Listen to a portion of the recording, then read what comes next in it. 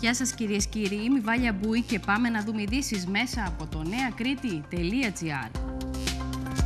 Η υπογραφή της Συμφωνίας των Πρεσπών μπορεί να χαιρετίστηκε διεθνώς ως μια ιστορική στιγμή για τα Βαλκάνια. Εν η απόφαση εντός της Ελλάδος άρχισε να δρομολογεί πολιτικές εξελίξεις. Η μοναδική απώλεια σε κοινοβουλευτικό επίπεδο προς το παρόν ήταν του βουλευτή των Ανέλ Δημήτρη Καμένου, που διαγράφει από το κόμμα του επειδή στήριξε την πρόταση μορφής της Νέας Δημοκρατίας. Ωστόσο, παρασκηνιακές κινήσεις σε όλα τα κόμματα δείχνουν ότι ξεκίνησε η αντίστροφη μέτρηση για σημαντικές πολιτικές εξελίξεις στο εσωτερικό της χώρας. Μία ακόμα τραγωδία στην άσφαλτο της Κρήτης με μία ηλικιωμένη γυναίκα να αφήνει την τελευταία της πνοή στο οδόστρωμα ενώ άλλα τρία ακόμα άτομα μεταξύ των οποίων και μία έγκυος να μεταφέρονται τραυματισμένα στο νοσοκομείο μετά από τροχαίο δυστύχημα στα μάλια.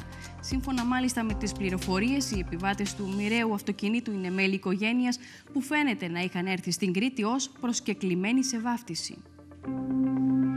Την αστυνομία Λασιθίου απασχολεί νέα υπόθεση σεξουαλικής παρενόχλησης σε ανήλικη, η οποία φέρεται ότι προέκυψε μετά από καταγγελία της μητέρας του κοριτσιού.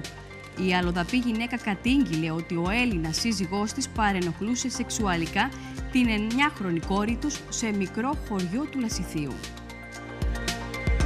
Για όλες τις ειδήσεις από την Κρήτη, την Ελλάδα και τον κόσμο μπείτε στο νεακρήτη.gr και ακολουθήστε μας στα social media.